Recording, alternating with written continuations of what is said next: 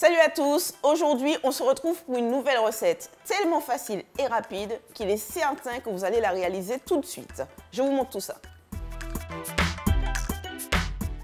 Le piment végétarien, je vais lui enlever les pépins dans cette préparation puisqu'on reste sur quelque chose qui sera cru et du coup les pépins n'auront pas le temps de se ramollir. Je ne voudrais pas qu'il soit trop coriace sous la dent. Et on le coupe très finement en petits cubes.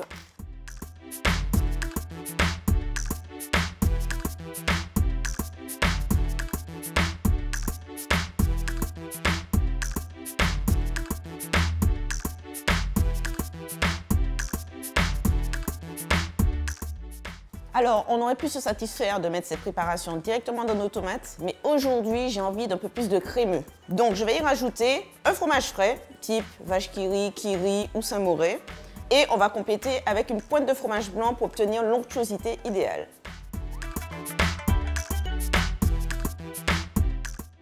À ce stade, je vais rajouter du fromage blanc pour obtenir davantage de crémeux.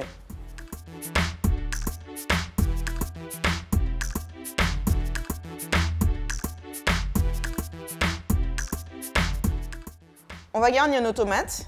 Vous voyez que celle-ci, elle est légèrement inclinée. Pour la rendre plus stable, je vais légèrement entailler la base.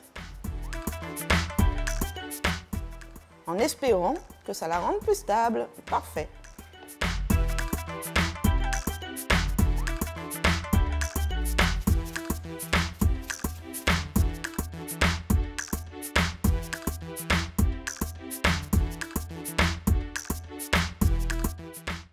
Ça y est, nos tomates farcies au thon sont fin prêtes. Il ne reste plus qu'à les déguster bien fraîches.